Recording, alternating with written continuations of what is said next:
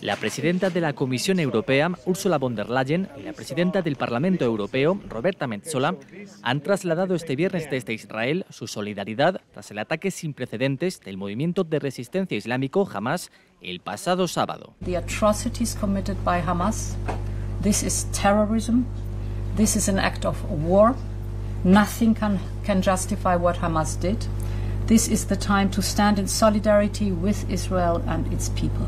Von der Leyen y Metzola han sido las primeras dirigentes comunitarias en viajar a la zona tras las acciones terroristas que han dejado más de 1.300 muertos en territorio israelí y desatado el asedio del ejército israelí contra la franja de Gaza, desde donde se lanzó la ofensiva. Ambas mandatarias han visitado el kibbutz de Kafar Atza, uno de los escenarios más sangrientos de la ofensiva de las milicias de Hamas.